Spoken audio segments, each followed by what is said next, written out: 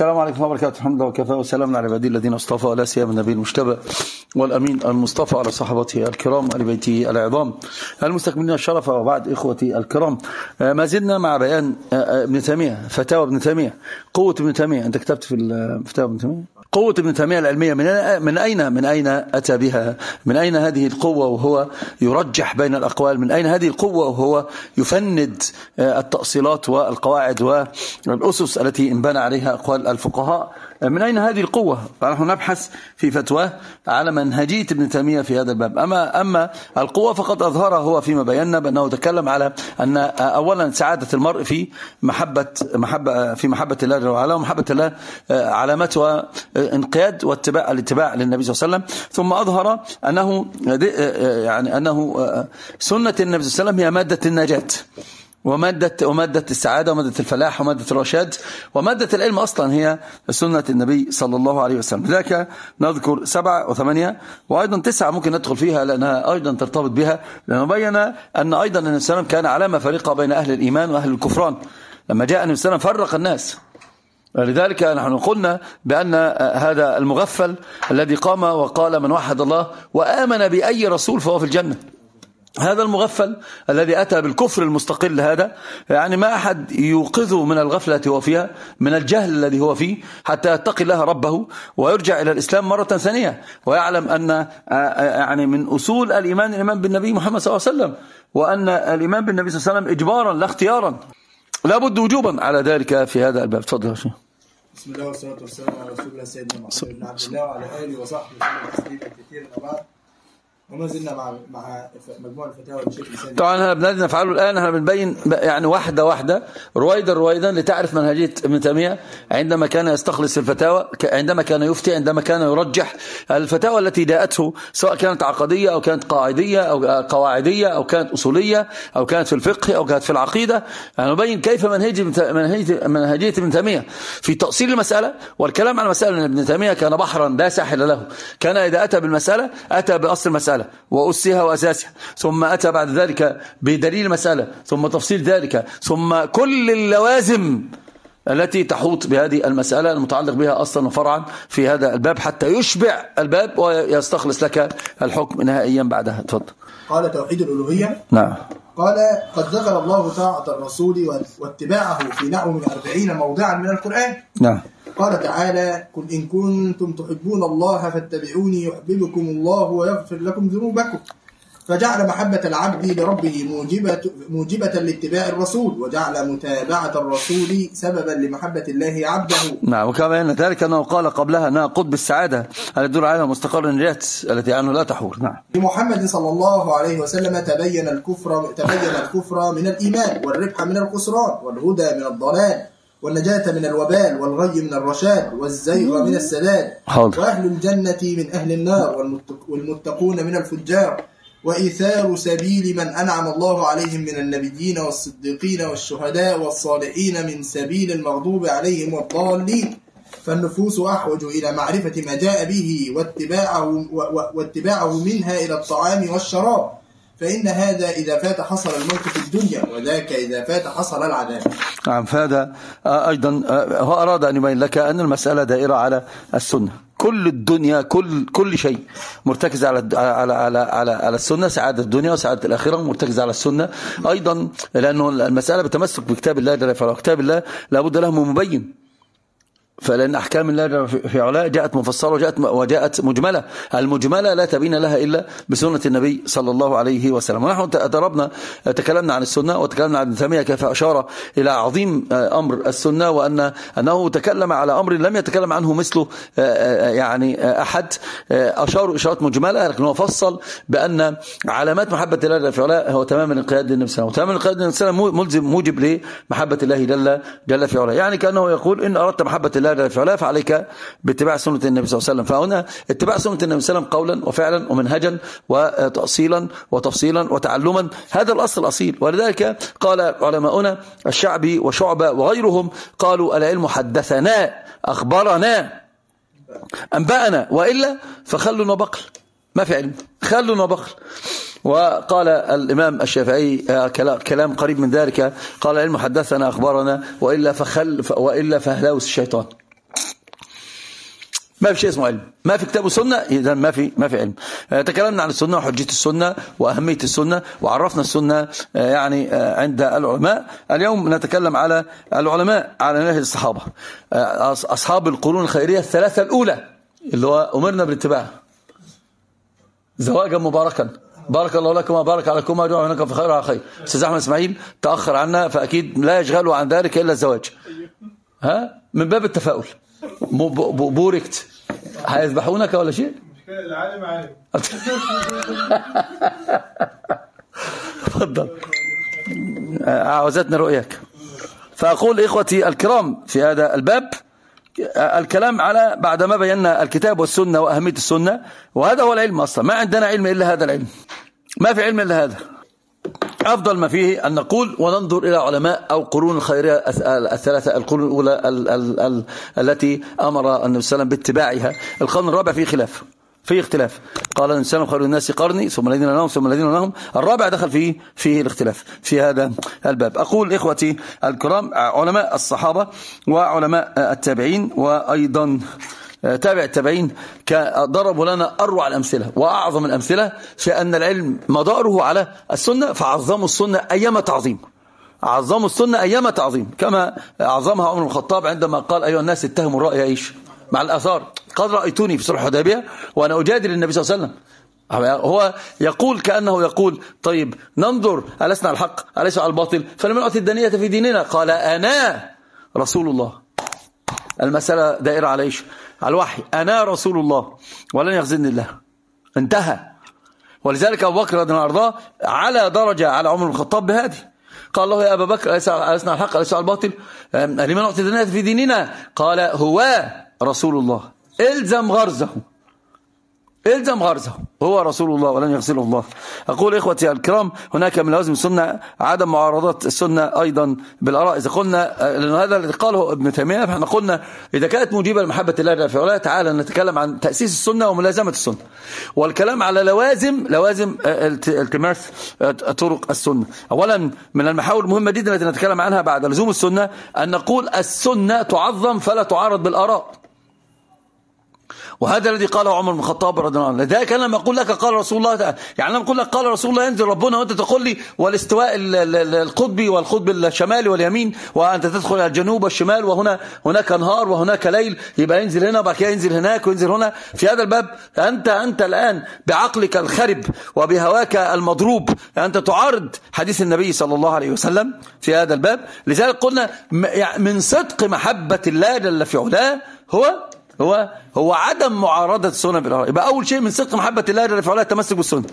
لذلك هذه قوة ابن تيمية. قوة ابن تيمية التي أتته والله تعالى جعله يجابه أمم بأنه علم تعظيم السنة فتمسك بها. ثم علم أن السنة تهدم إذا ضربت بالآراء. وعلم أن البدع تقف صد صدا منيعا للسنة. فأيهما أقوى؟ يمتد. طب أقوى في قلب العبد. أما, أما السنة ما فيش استغفر الله ما في مقارنة. أقصد في, قول في قلب العبد. كلما قوي قلب العبد على تشرب السنة دفع البدعة ولم يقبلها. ودي تنقية الدين. تنقية الدين. أولا رأية السنة مرفوعة الأمر الثاني صد السنة السنة البدعة. عدم قبول البدعة بحال من الأحوال.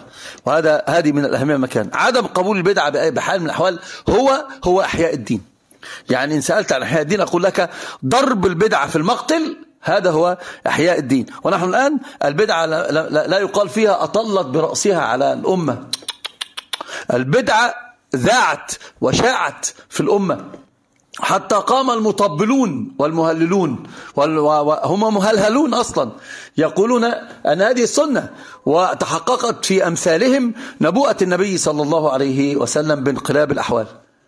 بين يدي الساعة سنون خداعة يصدق فيها الكاذب وكذب فيها الصادق وتم الخائن وخون الأمين وينطق الرويبضة قالوا ومن الرويبضة رسول الله؟ قال الرجل الفاسق أو الفاسق يتكلم بأمر في أمر العامة. ولذلك معارضة الأحاديث والسنن والآثار بأقوال الرجال لا هذه لا, لا يفعلها إلا المبتدع الضال أو المنافق الذي يحارب الدين. لذلك كان البيقي في في الكتاب الماتع معرفة السنن والأثار كان دائما عندما يستدرج على الشافعي في مسألة الحديث يقول السنة ألزم السنة أتبع. السنة ألزم السنة أتبع. وتضرب أقوال المعارضين للسنن عرض الحائط. الشافعي نفسه قال قال قال إن, وجدتم قولي خالف قول السنة فاضربوا بقول عرض الحائط وخذوا بقول النبي صلى الله عليه وسلم. وقال مالي لا أخذ بحديث النبي صلى الله عليه وسلم. أرأيت في وسط النار؟ أرأيتني دخلت خارج من كنيسة؟ يقول قال رسول الله ومالي لا أقول مما قال رسول الله. وأيضا أبو حنيفة قال قال خذوا بقول السلام واضربوا بقول عرض الحائط. ومالك كان يقول كل يأخذ من قوله رد إلا صاحب هذا القبر. أحمد بن حنبل يقول لا تأخذ مني ولا من الشافعي ولا من ابن نعينة خذ من حيث أخذنا من حديث النبي صلى الله عليه وسلم. أخرج البيهقي عن أيوب هنا أمثلة رائعة. تبين لك أن قوة المرء معروفة بالسنة أنت انظر للإنسان. كما قلت أنا قلت قاعدة مهمة جدا. لو الإخوة نشرتها بفضل أو تنشرها قلت إيش؟ لا لا لا في قاعدة أخرى بقى في مسألة الدليل. الله أكبر. ربنا يحيي الشافعي والثوري معنا هنا الآن. أعطيني أعطيني حجتك أعرف قيمتك. أعطني حجتك أعرف قيمتك. إن كانت الحجة عندك قال الله قال رسول أنت قيمتك عالية جدا أنت عالم من النبلاء. وإن كانت آه، وإن كانت آه، يعني آه، قيمة وإن كانت حجتك أرجو أرى أتذوق الوجه عرفنا قيمتك. أنك من أقل الناس درجة في هذا الباب ومثلك ومثلك لا يترك لا يترك لابد أن يذبح. لما؟ حتى لا تضيع دين الناس حتى لا تضيع دين الناس. أخرج البيهقي عن أيوب السختياني التابعي الجليل أنه قال إذا حدث الرجل بسنة فقال دعنا من هذا وأنبينا على القرآن فاعلم أنه ضال. أزيد هو ضال مضل. البيهقي أخرج عن أيوب السختياني طبعا أيوب السختياني أنا أريد واحد يجيب لنا الترجمة الرائعة لأيوب أيوب السختياني أروع ما قيل فيه أنه كان من أشد الناس بأسا على أهل البدع والضلالات. أيوب السختياني كان من أشد الناس من أشد الناس بدع من أشد الناس شدة على أهل البدع. الله أكبر. الصادق ياسر أيضا قال أعطيني دليلك أعرف قيمتك. أوه أوه أوه يحفظون الناس هذه لا تسكت. الحمد لله.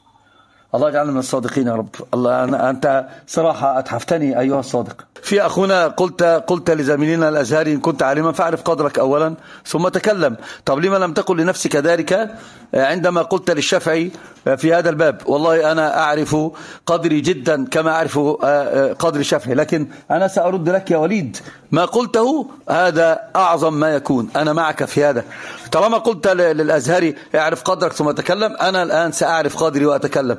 أنا لا أساوي أنا أنا لا أساوي غرزة في نعل في نعل الشافعي. قلت ذلك مرارا. ومع ذلك وأنا لا أساوي غرزة في نعل الشافعي عندما يخطئ الشافعي ويظهر الدليل, على خلافه ويقول به العلماء أن الأكابر الذين الذين كالشافعي أقران للشافعي أو فوق الشافعي يقولون بذلك. وجب علينا أن نخطئ الشافعي. وهل التخطئة في ذلك سوء أدب؟ هل تعدي؟ هل فيها مسبة؟ هل فيها منقصة؟ بل هي زيادة. بل الشافعي سنرى يوم القيامة هل, هل سيفخر بنا ويفخر بكم؟ عندما تقلدونه فيما فيه الخطأ على على على السنة والخطأ على على على على تأسيس الشرع اجتهادا منه وله الأجر في ذلك. هو ناجي. هو ناجي عند رب يزيد ولا ينقص. إنما أنتم ماذا تفعلون؟ بيان لكم الحق بالكتاب والسنة في هذا الباب. لما يكون مذهب بيقول لي أنه يجوز أن تتحايل على ربك وتسقط الزكاة. قلنا المذهب هذا مذهب خطأ. ما الذي أخطأنا فيه هذا؟ هل أنا رأيت نفسي فوق الشافعي أو أنا أعلم من الشافعي فلذلك أقول له يا شافعي أنت جهلت وأنا علمت وأنا فوقك بمراحل فاسمع لي. هل قلت ذلك أنا وادعيت هذا؟ ما زلت أقول وأقول وسأقول أنا غرزة ولا أساوي غرزة في نعل الشافعي لكن الله تعالى فتح لي بابا علمته وأتقنته وتكلمت به وقلت اللي عنده علم يستطيع يجابهنا به فليتفضل. لكن جاهل يسكت جاهل يسكت. فأنا ألزمت نفسه الآن وبينت ذلك قدري وقدر العالم وخطأته بالعلم. أما أنتم يعني هبهبة وطحن جعجع بلا طحن وألسنة طويلة على الفاضي ما فيهاش أي شيء من العلم. ومع ذلك أخذت من نصيحتك وهو بينت لك أنني أعرف قدري وقدر الشافعي وهذا لا يمنع فهذا لا يمنع لا يمنع أن نقول شوف أنت مش فعلت الله يهديك. فهذا لا يمنع أن نقول الشافعي العالم النبيل الذي ملأ الدنيا علما نقول إن أخطأ أخطأ. وواجب علينا أن نرد الخطأ بإظهار الدليل وبإظهار العلماء النبلاء الذين خطأوا الشافعي فيما, فيما قال. لكنكم قوم تقلدون وتعظمون الأشخاص على الآثار. وهذا يغضب يغضب الله سبحانه وتعالى يعني يعني ويغضب النبي المختار. فبينت لكم. هكذا نبين لكم المسألة. أعطني دليلك أعرف قيمتك. أعطني حجتك أعرف قيمتك. أيوب السختياني قال إذا حدث الرجل بالسنة فقال دعنا من هذا. أنبئنا من القرآن؟ فاعلم أنه ضال وأقول هو مضل وهو متحقق في نبوة وسلم. بين هذه الساعة سنون خداعة يصدق فيها الكاذب ويكذب فيها الصادق. وقال الأوزعي رحمه الله تعالى السنة قاضية على الكتاب. لم يجئ الكتاب قاضيا على السنة. ومعنى ذلك أن السنة جاءت لبيان الكتاب. فأحكام السنة المجملة لا تبين إلا آه، أحكام الكتاب المجملة تبينها السنة بقول تعالى وأنزلنا لك الذكرى لتبين للناس ما نزل, ما نزل إليه. وأخرج البيهقي عن الإمام الجليل سفيان عن ابن سعيد الثوري رحمه الله تعالى أنه قال إنما العلم كل كله العلم بالآثار. سفيان الثوري قال العلم كله العلم بالآثار ما فيش أي واحد ما عندوش أثر ليس عنده علم. أي أحد سيتكلم ويقول لك والرمل قال والرملي قال ابن حجر الهيتمي قال ابن ابن مفلح قال ابن الهمام قال نقول له ممتاز إن كنت مقلدا وأنت بتقليدك بتؤدي ما تقلد لا تفتح على الناس أبوابا. أنت مقلد أنجو بنفسك وانتهى الأمر. طالما أنت مقلد لا تظهر للناس أنك ترجح لهم أو تبين لهم وترشدهم. أنت بذلك كذاب كذاب. مثلك لا يصح له أن يتكلم لأنك ستفسد في الأمة. ولو سكت الجاهل لخف الجدال والخلاف اندثر نعم. قال الثوري وتعلمون من الثوري أمير المؤمنين في الحديث. الثوري هذا له مدى فقهي خاص أيضا. لم يحمله أصحابه عليه لكن أقواله منثورة. وهو أمير المؤمنين في الحديث. يقول الإمام الثوري قال قال إنما العلم كله العلم بالآثار. ما فيه من لم يعلم الحديث ليس له علم. وقال الإمام مالك رحمه الله تعالى ما منا إلا رد ومردود عليه إلا صاحب هذا القبر وأشار إلى قبر رسول الله صلى الله عليه وسلم. قال أبو حنيفة إذا جاء الحديث عن رسول الله صلى الله عليه وسلم فعلى الرأس والعين. قال الشافعي متى رويت عن رسول الله صلى الله عليه وسلم حديثا فلم آخذ به فأشهدكم أن عقلي قد ذهب. وقال أيضا إذا قلت قولا وجاء الحديث عن رسول الله صلى الله عليه وسلم فبخلافه فاضربوا بقول عرض الحائط وخذوا بقول النبي صلى الله عليه وسلم. أما أحمد فقد قال لا تقلدوني ولا تقلدوا مالكا ولا الشافعي وخذ من حيث أخذنا وقال أيضا رحمه الله عجبت لقوم عرفوا الإسناد وصحته عن رسول الله صلى الله عليه وسلم ويذهبون إلى رأي سفيان والله سبحانه وتعالى يقول فليحذر الذين يخالفون عن أمره أن تصيبهم فتنة أو يصيبهم عذاب أليم. يقولون نقحوا التراث وإن المتأخرين توالى الأمر عنهم ونحن على السادة الشافعية نحن السادة المالكية نحن السادة أنتم السادة المفلسية أنتم السادة الذين تعمون على الناس الحنابلة الجدد الضلال الجدد فنحن نقول بأن الدين كما كما كما جاء عن الأولين. الدين الدين هو قال الله قال الرسول. الدين هو قال الله قال الرسول. العلم قال الله قال رسوله وقال الصحابة ليس بالتمويه. ما العلم؟ نسبق الخلاف سفهة بين الرسول وبين قول فقيه. نعم. قال قال أحمد يقول عجبت لقوم عرفوا الإسناد وصحته. نعم عن رسول الله صلى الله عليه وسلم. ويذهبون إلى رأي سفيان والله سبحانه يقول فليحذر الذين يخالفون عن أمره أن تصيبهم فتنة أو يصيبهم عذاب أليم. ثم قال أتدري ما الفتنة؟ الفتنة الشرك. لعله إذا رد بعد قوله صلى الله عليه وسلم أن يقع في قلب شيء من الزيغ فاهلك أعوذ بالله. الجرأة على رد حديث النبي صلى الله عليه وسلم يمكن أن تفسد القلب. أعوذ بالله. أعوذ بالله أعوذ بالله. سمعنا وأطعنا سمعنا وأطعنا سمعنا وأطعنا وحبا وكراما. فأقول إخوتي الكرام في هذا الباب شوف أحمد وش قال؟ قال قال أخشى والله. أو قال عجبت لقد عرفوا لقوم قد عرفوا الإسناد وصحته عن رسول الله صلى الله عليه وسلم ويذهبون إلى رأي سفيان والله سبحانه يقول سبحانه وجل في علاه فليحذر الذين يخالفون عن أمره أن تصيبهم فتنة أو يصيبهم عذاب أليم. ثم قال أتدري ما الفتنة؟ الفتنة الشرك. لعله إذا رد بعد قوله صلى الله عليه وسلم أن يقع في قلبي شيء من الزاغ فأهلك. قوة ابن تيمية تكمن في ذلك يعلم هذا ويمشي به حذو القدة بالقدة. وما يرى من قول إلا ويأتي بدليله وما يخرج عن مذهبه إلا بدليله وما يرجح مذهب عن مذهب إلا بالدليل. ما, ما, عنده شيء من الأهواء وتقليد الرجال مهما تعظمت مكانتهم. وأخرج البيهقي عن مجاهد بن جبر التابعي الجليل أنه قال في قوله سبحانه وتعالى فإن تنازعتم في شيء فردوه إلى الله والرسول قال ردوا إلى الله الرد إلى كتابه والرد إلى الرسول الرد إلى السنة وهذا قاله أيضا الشافعي. قال الرد الرد إلى الله إلى كتابه وهذا يتمثل في من؟ أفصح من تكلم عن الكتاب من؟ النبي صلى الله عليه وسلم. ورد إلى السنة الرد إلى شخصه في حياته والرد إلى سنته في بعد مماته. وأخرج البيهقي عن الزهري رحمه الله تعالى أنه قال كان ممن مضى من علمائنا يقولون الاعتصام بالسنة نجاة؟ الاعتصام بالسنة نجاة؟ نعم.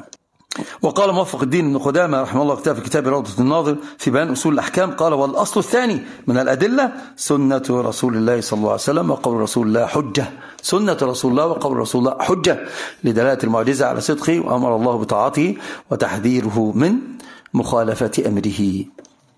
وقال وقال ابن كثير رحمه الله تعالى في تفسير قوله تعالى في الأحد الذين يخالفون عن أمره أن تصيبهم فتنة ويصيبهم عذاب أليم. عن أي, أي عن أمر رسول الله صلى الله عليه وسلم وهو سبيله ومنهاجه وطريقته وسنته وشريعته فتوزن الأقوال والأعمال بأقواله وأعماله فما وافق ذلك قبل وما خالف ذلك رد على قائله وفاعله. كائنا من كان. كما ثبت في الصحيحين وغيرهما عن رسول الله صلى الله عليه وسلم أنه قال من عمل عملا ليس عليه أمرنا فهو رد. فليخشى وليحذر من خالف الشريعة رسول الله صلى الله عليه وسلم باطنا وظاهرا أو ظاهرا أن تصيبهم فتنة أو أي في قلوبهم يعني من كفر أو نفاق أو بدعة أو يصيبهم عذاب أليم. أي في الدنيا بقتل أو حد أو حبس أو نحو ذلك. كما روى الإمام أحمد حدثنا عبد الرزاق حدثنا معمر عن همام ابن منبه قال حد هذا ما حدثنا أبو هريرة رضي الله عنه وأرضاه. قال قال رسول الله صلى الله عليه وسلم مثلي ومثلكم كمثل رجل استوقد نارا فلما أضاءت ما حولها جعل الفراش وهذه الدواب اللائي يقعن في النار يقعن فيها وجعل يحجزهن ويغلبهن فيقتحمن فيها. قال فذلك مثلي ومثلكم وأنا آخذ بحجزكم عن النار. هلم عن النار؟ فتغلبوني وتقحمون فيها. وقال الإمام السيوطي في رسالة المسمى مفتاح الجنة بالاحتجاج بالسنة ما نصه عظيم. قال اعلموا رحمكم الله أن من أنكر أن كون حديث النبي صلى الله عليه وسلم قولا كان أو فعلا بشرطه المعروف في الأصول حجة كفر. وخرج عن دائرة الإسلام. وحشر مع اليهود والنصارى أو مع من شاء الله من من فرق الكفرة. نعوذ بالله من هذا. وقلنا التمسك بالسنة علامته رد كل قول يخالف قول النبي صلى الله عليه وسلم. من عارض السنة بالآراء فقد ضل ومن ضل فقد هوى في حوة صحيقة لا نجاة بعدها. وأنت ترى علماء المذهب بأسرهم علماء المذاهب بأسرهم كانوا يأتون بأقوال المذاهب أئمة المذاهب ويأتون بالسنة يقولون والسنة أتبع السنة ألزم. كتاب ماتع جدا في هذا الباب كتاب معرفة السنن والآثار. والنووي يعني كانوا أيضا يتكلمون عنه في كثير من الأمور خرج عن المذهب ليس هو فقط بل المواردي ضرب لنا أروع الأمثلة في هذا الباب في الخروج عن المذهب للسنة. أولا نقول الإمام الجويني قال نحن لا نقلد الشافعي. اجتهادنا وافق اجتهاده. نحن لا نقلد الشافعي. اجتهادنا وافق اجتهاده. الإمام المواردي يقول مذهب الشافعي أن الصلاة الوسطى العصر مع أن المعتمد في المذهب الشافعي أن الصلاة الوسطى هي الفجر. ونص كلام الشافعي أنه قال بأن صلاة الوسطى هي الفجر. واستدعى ذلك بأدلة كثيرة. طبعا تعرفون وصل 25 قول أو أكثر. فيعني في هذا الباب أنه قال بأن الله تعالى قال وقرآن فجر وقال الفجر كان مشهودا. وقول النبي صلى الله عليه وسلم صلى البردين دخل الجنة والملائكة يجتمعون فيكم في الفجر والعصر. فاختار أن صلاة الوسطى هي الفجر ورد على من قال من صلاة العصر قال لأن عائشة لما قرأت قالت عندما تأتي إلى قولي حافظ على الصلاة والصلاة الوسطى حافظ على الصلوات وصلاة الوسطى قالت قالت قفوا فأوقفت لغاية صلاة العصر. قالت وصلاة العصر مش صلاة وصلاة العصر. قال هذا عطف. يبقى هي ذكرت الوسطى ثم ذكرت إيش؟ العصر. قال هذا عطف. والعطف هنا على المغايرة على المغايرة فرد عليهم بأن الرواية الأخرى قالت حافظوا على صلاة الوسطى حافظوا على صلاة والصلاة الوسطى وصلاة صلاة العصر. يعني صلاة الوسطى هي صلاة العصر. كده أو كده نقول هذا محتمل والمحكم المحكم ينهي المسألة وينجزها. كيف المحكم؟ أين المحكم؟ حديث علي بن أبي طالب. محكم وظاهر جدا. قال وسلم ملأ الله قبورهم وبيوتهم نارا شغلونا عن الصلاة الوسطى صلاة العصر. شغلونا عن الصلاة الوسطى صلاة العصر. وهذه دلالة واضحة جدا على أن الصلاة الوسطى هي صلاة صلاة العصر كلمة وردي بعد ذلك بعد ما ذكر هذه الأحاديث قال ومذهب إمامنا أن صلاة الوسطى يا رجل الشافعي نص على أنها صلاة الفجر. قال قد قال إمامنا إذا صح الحديث فهو مذهبي وقد صح الحديث أن صلاة الوسطى هي صلاة العصر فهو مذهبنا. انظر انظر إلى لما تتغير عن الدروس. لما؟ تفضل. أن صلاة الوسطى هي صلاة صلاة العصر. فانظر هنا أخي الكريم إلى هذا الفضل الكبير العميم. عندما تجد لما تجد التنصيص على على من أئمة المذاهب في الخروج عن المذهب من أجل الدليل. الإمام النووي يقول يقول في مسألة الوضوء من لحوم الإبل. قال مذهبنا أن أنه ليس بواجب الوضوء من لحوم الإبل. قال ومذهب أحمد. فعل السنة أو قال هو الأقرب إلى السنة أو قال المذهب الصحيح اتباع السنة أن الوضوء من مما الوضوء من لحوم الإبل. وأيضا قالها والبهقي نفسه قال بذلك. وأيضا كثير من علماء المذهب خرجوا عن المذهب بسبب السنة. قالوا هذه السنة وهو الصحيح في هذا الباب. ابن ابن الهمام نفس الأمر. يخرج عن المذهب من أجل السنة. بل العجيب أنه قال ابن الهمام قال قال القياس أن القهقه لا تنقض الوضوء ولكننا نقدم الأثر على القياس. في حديث الضحك ضحك فقال له اذهب فتوضأ فصلي. وطبعا حديث ضعيف والشافعي قال كلاما عجيبا في هذا الباب. الشافعي وش قال؟ آه. الشافعي قال قال يقولون قدمنا الأثر على القياس وهذا كلام حميد لو كان الأثر صحيحا. لكن تردون الأثار الصحيحة وتأخذون المقاطيع والمراسيل وتقولون المقدمة على الأثر وتقدمون القياس على على الأحاديث الصحيحة كالمصرات وغيرها فأنكر عليهم ذلك. لكن الأصل في هذا أنهم قالوا نحن نقدم الأثر على القياس. الإمام مالك بن عبد البر يخرج عن مذهبي ويقول في حديث البيعان بالخيار قال قد ثبت وقول مالك ليس من عمل أهل المدينة بل عمل به أهل المدينة وخرج من ذلك. خرج. ابن تيمية خرج عن مذهب الحنبلة في أكثر من مسألة. وكان يأتي برواية الحنبلة يعمل بها. المسألة ليست بالهينة المسألة عظيمة. لذلك أقول إخوتي الكرام هذا الباب ليس بالهين هذا الباب ليس بالهين. باب العلماء قالوا إن, إن, كذب إن الكذب في الادعاء باتباع السنة أن تعارضها بالأراء. أن تعارضها بالأراء. تقول له قال رسول الله لك وقال فلان وقال فلان وقال فلان. هذا الذي جرى الإمام الشافعي أن يقول إسحاق بن رهي من أنت؟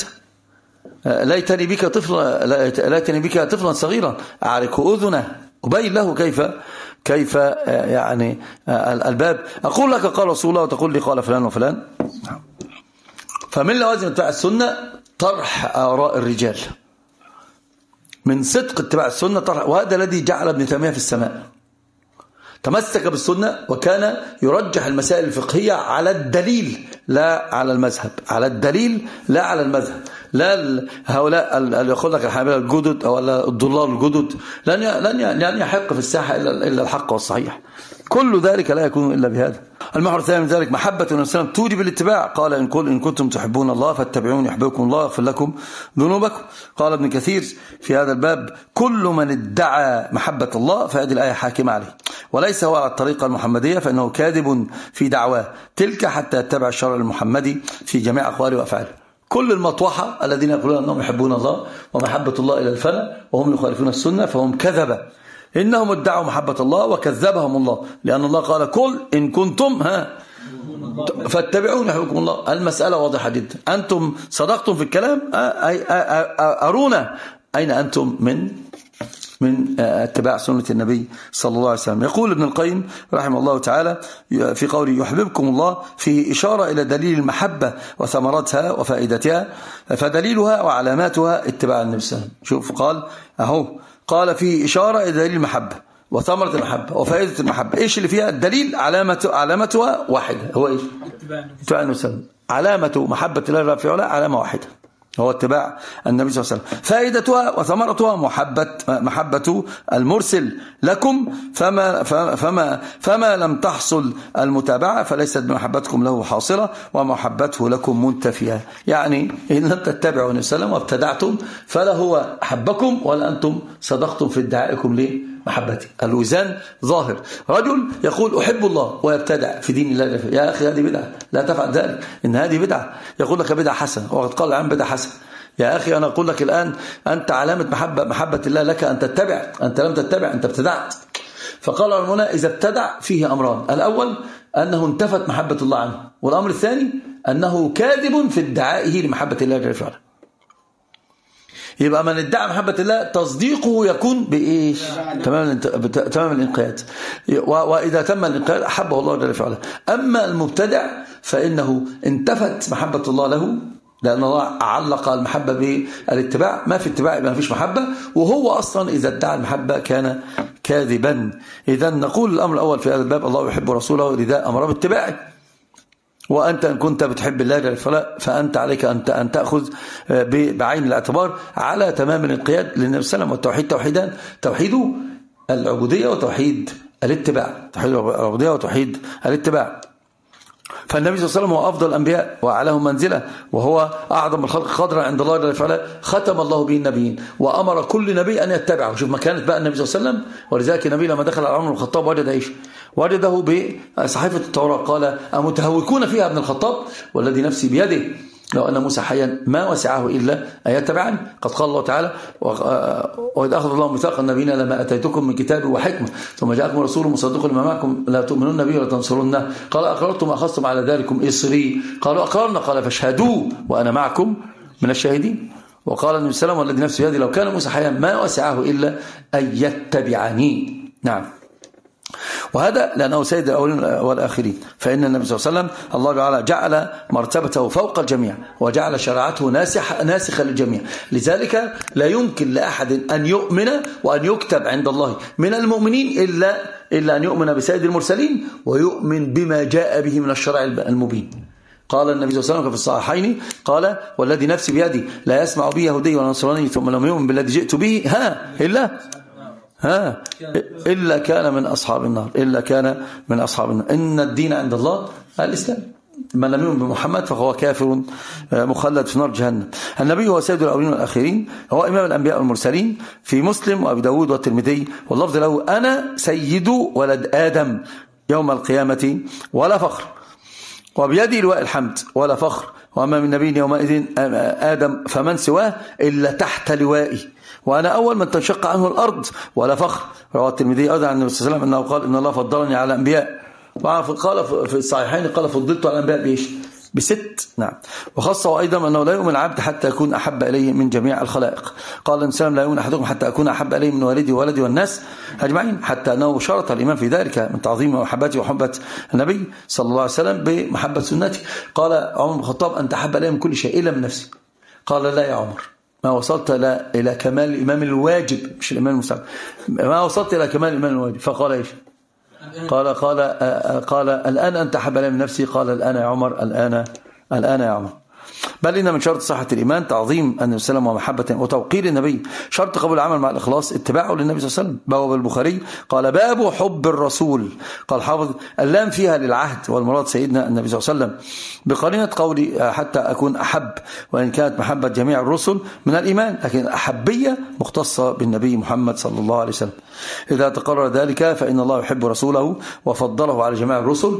أمر باتباعه وأمر الأنبياء جميعا أن يتبعوا ولما أحيا له الأنبياء في الإسراء جعله هو الذي يصلي بهم إماما. ولذلك موسى بكى. قال فتى يأتي بعدي؟ يعني آه، آه، يكون أتباعه أكثر من أتباعه الأمر الثاني في ذلك في هذا الباب تأكيدا على محبة الله فلا أن الله لا يأمر إلا بما يحب. وقد أمر وقد أمر الله تعالى بطاعة النبي. بل جعل علامة الإيمان الرد في الاختلاف إلى النبي العدنان. قال تعالى فلا مؤكدات ثلاث تأتي. فلا وربك لا يؤمنون حتى يحكموك فيما شجر بينهم. ثم لا يجدوا في أنفسهم حرجا مما قضيت ويسلموا تسليما. فمن ضمنة ما أمر الله به أمر أمرا جزما هو اتباع النبي صلى الله عليه وسلم ورد المتنازع فيه إليه والمختلف فيه إليه والتحاكم إليه. فهذه فيها دلالة على أن محبة الله تعالى مرهونة باتباع النبي صلى الله عليه وسلم والانقياد له أيضا التحاكم التحاكم إليه. ومحبة الله تستلزم نشر دينه ونشر دين النبي صلى الله عليه وسلم. يعني في الأمر الثالث أن محبة النبي من علاماتها أيضا نشر دينه. أنت بتحب الله في علاء محبة الله أستغفر الله. محبة الله علامتها إيش؟ ها علامتها بعد نشر دينه نصرة دينه ونشر دينه. ولا يمكن أن تنصر الدين ولا يمكن أن تنشر الدين إلا به. إلا بالسنة إلا بالسنة إن قلنا الأمر بالعلم العلم, العلم لا يكون إلا بالسنة هناك من أدلة على فضل وشرف ما ينشر السنة ويعلمها, ويعلمها هو أصالة. قال رواه الترمذي عن ابن مسعود رضي الله عنه وأرضاه قال نضر الله قال النبي صلى الله عليه وسلم نضر الله امرأ سمع مقالاتي فوعاها فأداها كما سمعها رب حافظ رب حامل فقه إلى من هو أفقه من ربما حامل فقه غير فقيه. وعن أبي موسى الأشعري رضي الله عنه وأرضاه أن النبي صلى الله عليه وسلم مثل ما بعثني الله به من الهدى والعلم كمثل الغيث الكثير. مثل ما بعثني الله به من الهدى والعلم كمثل الغيث الكثير. أصاب أرضا فكان منها تقي نقية فقبلت الماء فأنبتت الكلأ والعشب الكثير. نقية. وكانت منها أجادب الأجادب اللي هي إيش؟ تمسك الماء. يعني كأنها دوائر هكذا تمسك الماء.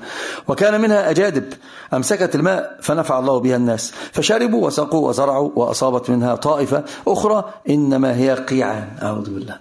لا تمسك ماء ولا تنبت كلأ فذلك مثل من فقه في دين الله ونفع الله بما عثني الله به فعلم وعلم ومثل من لم يرفع بذلك رأسا ولم يقبل هدى الله الذي أرسلت به. وتعليم السنة وتعلم السنة من علامات محبة الله جل وعلا من علامات محبة النبي صلى الله عليه وسلم. وأنا قلت أنت إذا أردت أن تنشر الدين تعلم السنة, السنة وتعبد بها أولا. يعني الحديث اعملوا بقى الحديث. زكاة الحديث أن تعمل كل 40 حديث حديثا. العمل بها ثم التعبد ثم تعيشها ثم بعد ذلك تنشرها بين بين الناس. نعم. ولذلك طلب العلم أصل طلب العلم هو طلب الحديث. سهل الله من سلك, من سلك سبيلا العلم سهل الله له به أو سلك الله سهل الله به سبيلا إلى الجنة. نعم. وقد قال النبي صلى الله عليه وسلم قال قال شتان شتان بين القمر وسائر النجوم. قال مثلا فضل العالم على العابد كفضل أنا على أدناكم. فضل العالم على العابد كفضل القمر على سائر النجوم. وجعل الشرع الانشغال بالسنة علما وتعليما ونشرا من صفات العلماء الربانيين. كما قال تعالى كونوا ربانين الرباني هو العالم بالكتاب والسنة هو العالم بالكتاب والسنة المتعبد لله بها الناشر هذا الدين بين الناس معلم الناس صغار المسائل قبل قبل كبار المسائل. ابن مسعود يقول عليكم بالعلم قبل أن يقبض وقبضه أن يذهب أصحابه. الله أكبر. المغبون الذي بين يديه من يتعلم منه ثم يتعلم. عليكم بالعلم قبل أن يقبض وقبضه أن يذهب أن يذهب بأصحابه. بل الذي ينشر السنة ويحييها في زمن الغربة طوبى له. قال بدأ الإسلام غريبا وسيعود غريبا كما بدأ فطوبى للغرباء. وفي رواية قيل يا رسول الله من الغرباء؟ قال الذين يصلحون الذين يصلحون إذا فسد الناس. في رواية الذين يصلحون ما أفسد الناس من سنتي. الذين يصلحون ما أفسد الناس من سنته والتفقه في سنة النبي صلى الله عليه وسلم من الدلالة على على إرادة الله بالعبد خيرا لأن الله لأن النبي صلى الله عليه وسلم قال ما يريد الله به خيرا يفقهه في الدين. سنعقد بابا تاما إن شاء الله في خروج العلماء النبلاء أصحاب المذاهب عن مذاهبهم بسبب الدليل مع حرمة معارضة السنة بالآراء. الأمر الرابع من أعظم دلائل محبة الله للعبد أن يوفقه للتمسك بالسنة. إذا أردت أن, أن تنظر في عبد قدره عند الله انظره من السنة. يعني لو أردت أن تعلم أن تختبر حب الله لعبد معين. إذا أردت أن تعرف محبة, محبة الله لعبد معين انظره في السنة. أين هو من السنة؟ فإن وجدته من السنة مستمسكا عاملا متعبدا ناشرا اعلم أن هذا أحب عباد الله إلى الله. وإن وجدته أبعد الناس على السنة فاعلم أنه من أبغض الناس إلى الله جل وعلا. فمن أحبه الله من أحبه الله جل وفقه للتمسك بالسنة. وكان أعظم التوفيق هو التعبد بها ونشرها بين بين الناس. فمن معالم التوفيق السير على ما صار عليه النبي صلى الله عليه وسلم واتباع سنة النبي صلى الله عليه وسلم ظاهرا وباطنا. في ذلك كلام لابن بطة كلام أعجب من العجب في الإبانة. الإبانة على أصول السنة والديانة. قال ومن السنة اتباع رسول الله صلى الله عليه وسلم ومن السنة اتباع رسول الله صلى الله عليه وسلم. والاقتفاء لأمره والاقتداء بهديه والأخذ بأفعاله والانتهاء إلى أمره وإكثار الرواية عنه في كل ما سنه واستحسنه وندب إليه وحرض أمته عليه ليتأدبوا به. فتحسن بذلك في الدنيا أو تحسن بذلك في الدنيا آدابهم فقال فتحسن أو تحسن. فتحسن بذلك في الدنيا آدابهم. فتحسن بذلك في الدنيا آدابهم ويعظم عند الله قدرهم. لا يوفق لهذا لا يوفق لهذا العمل إلا من أحبه الله. لذلك أنت المسائل معلومة. إن وجدت الرجل متوغلا يتمسك بالسنة وإذا تكلم معه قال ائتني بالسنة. ما ما ماذا قال النبي صلى الله عليه وسلم؟ فاعلم أن هذا العبد موفق مسدد. وإن أردت أن تنظر من يحبه الله قل أكشف لك الطريق. الذين يحبهم الله الذين تمسكوا بسورة النبي صلى الله عليه وسلم. كل ما يقال لك هذا صاحب سنة فاعلم أن الله أحبه. واعلم أنه كان عبدا موفقا مسددا. وأراد الله به إيش؟ خيرا لأن الفقه فقه إيه؟ السنن. الفقه فقه في السنن. نعم. المحور الثالث في هذا الباب لزوم اتباع النبي أو لوازم من لوازم اتباع النبي صلى الله عليه وسلم أمور. يعني لو كان الرجل حقا محبوبا لله محبا لله متبعا لوازم الاتباع في لوازم كثيرة منها. أولها التعظيم. تعظيم السنن من لوازم المحبة ومن لوازم الاتباع السنة تعظيم السنة. تراه إذا قيل له قال رسول الله يعظم السنة. يقول قل سمعت وأطعت. ولو عنده المذهب يقول المذهب يذهب ويبقى وتبقى إيش؟ السنة. تعظيم السنة. ومن تعظيم السنة أيضا ألا تستهزئ بها. ومن تعظيم السنة أن تسمعها وأنت موقر وأن تذهب الليالي والأيام لتتعلم السنة. وإلا الرحلة في طلب السنة قلنا كثيرا ما قال ابن سينا يقول كنت أرحل الأيام والليالي. ليأخذ حديث النبي صلى الله عليه وسلم. رحل أني جابر رحل أبو أيوب. الرحلة في طلب السنة أوسعنا الكلام الكلام فيها. ففيها قلنا من اللوازم في هذا الباب تعظيم السنة وتعظيم السنة كما قلنا التعب في إحصائها ثم التعبد بها ثم نشرها وتعظيمها أمام الجميع. وأنك لا تتكلم بكلام النبي إلا, إلا, إلا متوضئا متطيبا وأن تكون أصلا في هيئة حسنة وأن تكون بطريقة حسنة وأن تتكلم بقال الله قال بقال الرسول. الأمر الثاني إذا قلت بأنك متبع للسنة فلا بد أن تكون مجانبا لهواك. من علامات اتباع السنة الحقة اجتناب الهوى. يبقى أن نقول هذه النقطة أن هواك في في سنة النبي. صادق الاتباع علامته هواه. هواه إيش؟ هواه في سنة, في سنة النبي صلى الله عليه وسلم. الحديث الذي فيه ضعف لكن المعنى صحيح. قال لا يؤمن أحدكم حتى يكون هو تبعا لما جئت لما جئت به. وهذا عليه دلالات كثيرة جدا. منها ذم الهوى وقد ذم الله الهوى في أكثر من موضع. قال أفرأيت من اتخذ إلهه هواه أفأنت تكون عليه وكيلا؟ وأيضا قول الله تعالى أفمن زين له سوء عمله فرآه حسنا. زين له سوء عمله وهذا الهوى وقال تعالى فلا وربك لا يؤمنون حتى يحكموك فيما شجر بينهم ثم يجدوا في أنفسهم حرجا مما قضيت ويسلموا تسليما. وقال تعالى فلم يستجيبوا لك. فاعلم أنما يتبعون أهواءهم ومن أضل ممن اتبع هو بغير هدى من الله. إن الله لا يهدي القوم الظالمين. أنا أعظم ما يستدل به في هذا الباب بعد قولي وما كان المؤمن والمؤمن إذا قضى الله ورسوله أمرا أن يكون لهم الخير من أمر ما لك أمر؟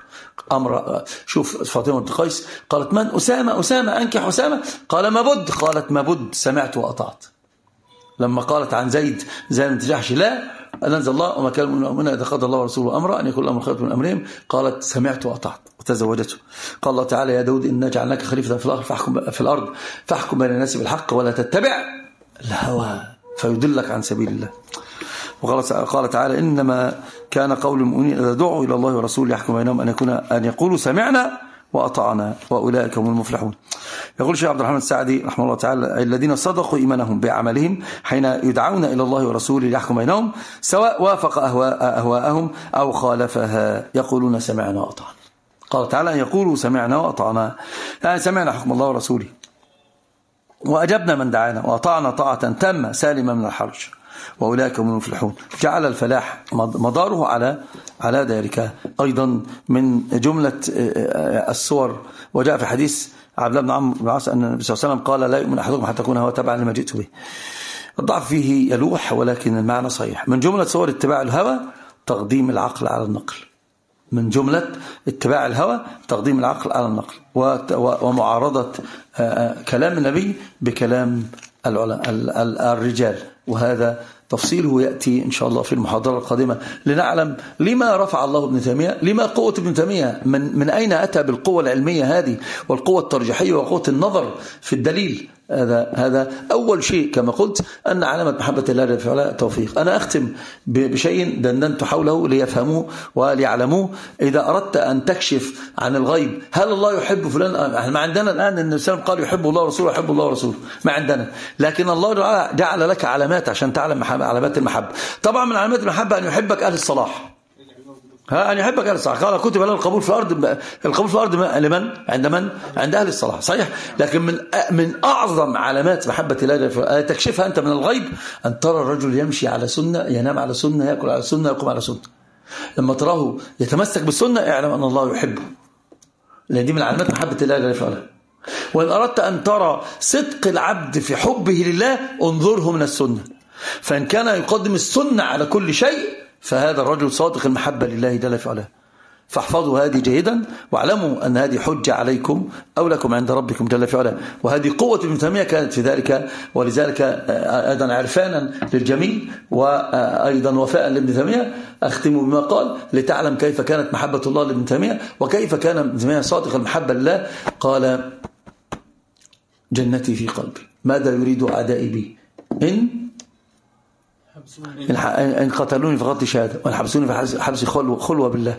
وإن نفعوني في نفي سياح. وكان يعلم ويقول بأن العلم التماس السنن. العلم هو التماس السنن. ولذلك قلنا في القاعدة الكبرى أرني حجتك أعرف قيمتك. أرني حجتك أعرف قيمتك. نسأل الله جل أن يجعلنا ممن يحذو حول هؤلاء ويلتمس السنن ويعمل بها. اللهم أمين. اللهم اجعل عمل كل الصالح وجعل وجه خلص إن شاء الله الفتاوى خمس دقائق الفتاوى تكون إن شاء الله. سبحانك اللهم ربنا وبحمدك. أشهد أن لا إله إلا أنت. أستغفرك وأتوب إليك. السلام عليكم ورحمة الله وبركاته. الله طالب العلم قم لا تنم فإن الزمان يا طالب العلم قم لا تنم فإن الزمان انقضى وانصرم. فكن ما حييت ضنينا به فظنك بالوقت عين الكرم. وكن حلس درسك وافرح به. تكن قائدا في غد للأمم. وبادر شبابك من قبل أن يقطع عزمك سيف الهرم. ودع ما استطعت فضول اختلاط وأكل ونوم وقول يذم وصاحب نبيلا ولا تكثرن فكم مكثر يا أخي حرم وحقق إذا رمت شيئا ولا تسمن بوهمك ذات الورم رأيت العلوم وأصحابها لدى كل ذي فطرة تحترم فإن رمت يا صاحبي رفعة بدنيا وأخرى فلذ بالقلم وأخلص لربك واعمل بما علمت وإن تلقى فيه الألم. وصابر وثابر ولا تكسلا فإن الهموم بقدر الهمم. فإن الهموم بقدر الهمم